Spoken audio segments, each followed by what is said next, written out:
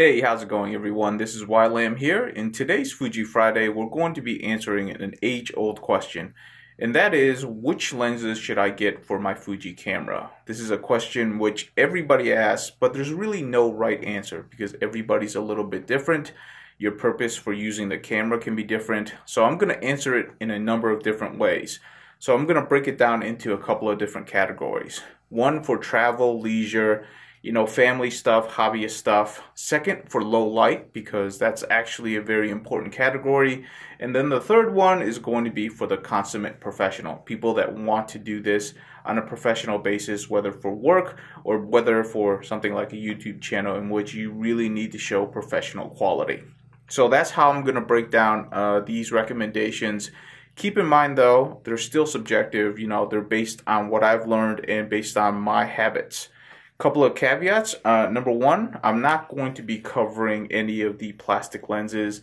There are several lenses in the Fuji lineup that are kind of what I believe subpar, and I would never recommend them. So I'm really not going to cover them. This specific one is the 16 to 50, and then there is a, I believe, a 50 to 230. The really cheap plastic lenses that come with their entry level cameras. They're really good for what I consider to be like a throwaway camera. This camera, for instance, I do time lapses on them constantly because I'm not worried about losing it. So if it go, falls into the water, if it gets lost, if somebody steals it, this whole entire camera system right here is disposable to me. Whereas with my X-T20 or my XH1, which is right here, I would not consider that disposable, so I wouldn't put them in those situations. Another caveat that I want to say real quick is that there are two lenses currently in the lineup that I don't have that are niche lenses that I really want to get and that is the 80 millimeter macro for macro photography. But again that's kind of a fringe lens. I don't really tend to use that all that much and the 100 to 400 just because I do take pictures of things that are really far away like airplanes on an air show. I like to have that reach but I just haven't gotten around to getting them because uh, like for instance the 100 to 400 it's a pretty pricey lens so I'm just not going to get to that right away. So let's go ahead and get into the lineup. Here are all the lenses that I currently have and I've kind of broken it down to what I think you should have. Uh, again very subjective. Number one that we're going to go with is this one right here. This is the 18 to 155 I thought it was going to be one of those lenses where I just wouldn't like it because it's a super zoom. It covers too much of a zoom range and it's just not going to be sharp enough or have the uh, light gathering ability or the lens quality or the picture quality that I'm going to want. That actually turned out not to be true. Uh, when I got a chance to use this for several events, several things that I really wanted to travel for, I found this to be uh, perfectly acceptable. It's a really nice lens. This lens is considered to be a super zoom, so what it's going to give you is pretty much the entire zoom range you would ever need for most situations, going from 18 to 135, which is 24 to basically 200 millimeters. That's an incredible zoom range. What I found with my pictures that I took just as a test, the sharpness between 18 and also to 135 is acceptable. It's perfectly good. The only caveat to this lens is that if you're a video first shooter for your cameras, it's not the greatest lens. I find it at the maximum zoom range of 200 millimeters. It's pretty hard to keep it steady even with the optical stabilization on. And also, it just tends to be a very bulky lens if you're taking it with, say, an X-T20. But overall, it's still a really great lens if you're shooting video first, just because you can use it on the short end to do vlogs and on the long end to take distant photography or distant video. So for me, this lens would be, if I only had one lens to bring with me and one camera body, I would choose to have this lens. If I choose to carry multiple lenses, this will never be in the lens lineup for me. The next two lenses that I want to talk about are what I consider to be the Fuji premium kit lenses. They're definitely better than any kit lens that I've ever seen, and I love to have them with me when I'm out and about. The two that I'm talking about are the 18 to 55 and then the 55 to 200. They're great zoom ranges. They really complement each other really well. They're constructed really great and they're small enough to where you can carry them and they're really not going to get into your way.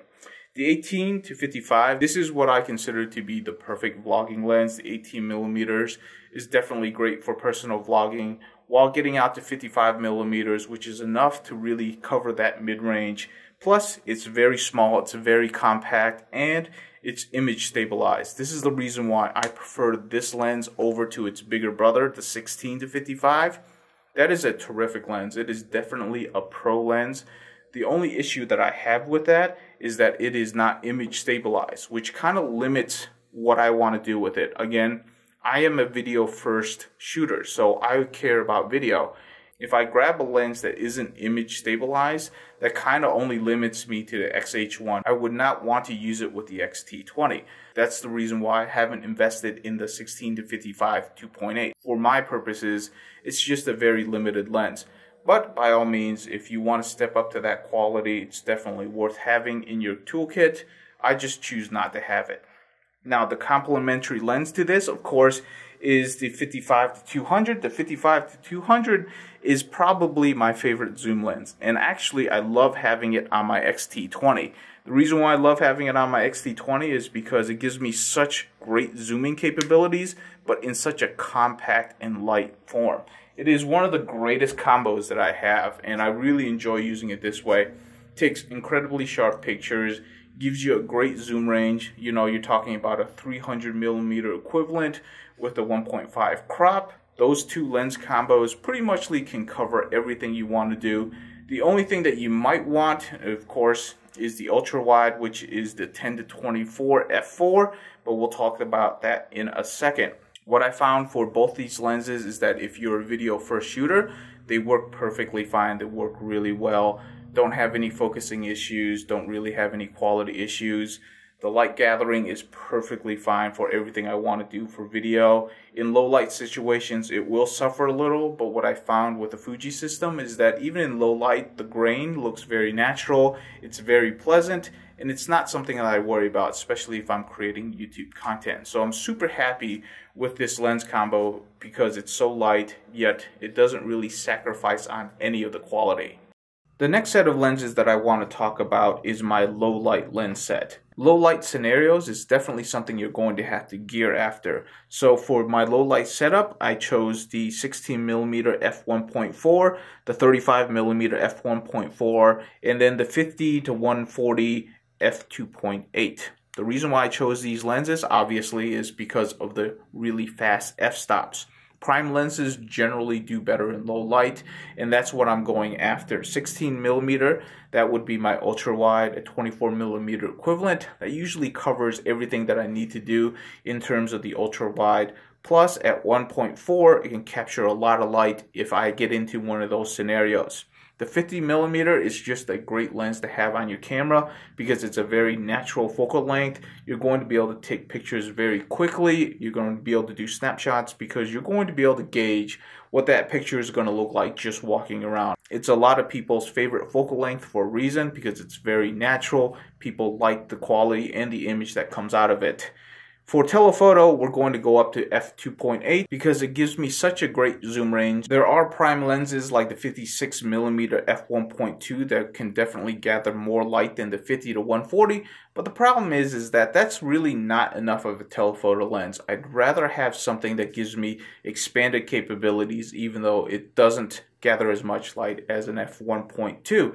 This is just my personal preference, but this is what I would go with because the 50 to 140 is just in general a super great lens. So I really like that lens and I would highly recommend it for anybody who wants to put together a pro kit. Low light kits are definitely something that you're really going to have to work at to see what you're comfortable doing. Obviously with my low light kit, I'm going to have to move a whole lot more because I have more primes into this kit, but that's something that I'm very comfortable with. That's something that you're just going to have to find through experience for yourself.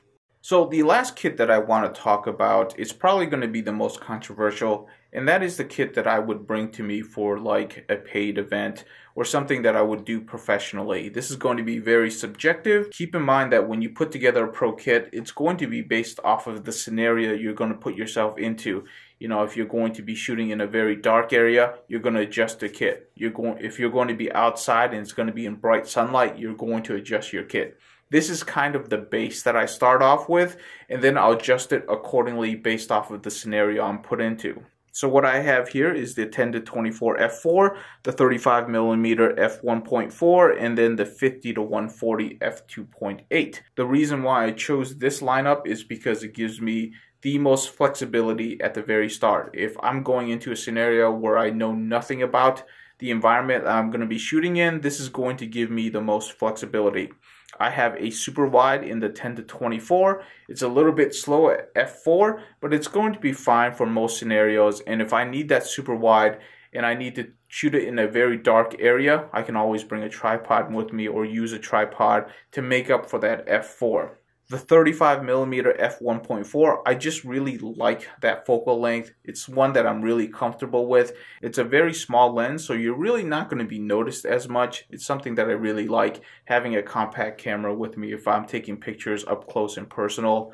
And then finally the 50 to 140 for those extended zooms. It's at f2.8 so it gathers plenty of light. It's just all around a great zoom lens so long as you're willing to carry the bulk and the weight now, if I'm going to be going into a only low light scenario, I would probably swap out that 10 to 24 with the 16 millimeter that we were talking about before. If I know I don't need a telephoto lens, I might opt not to carry the 50 to 140, but instead carry the 55 to 200 just because it's lighter weight. And in an emergency case where I actually need a super zoom lens, I can grab that, put it out, and shoot a picture, and it will be perfectly fine. For video purposes, all of the lenses that I currently have in my lineup are great for video. The only one that's kind of iffy, I would say, is the 18 to 145, which is not going to be in this lens lineup ever, so that's not really going to be a problem.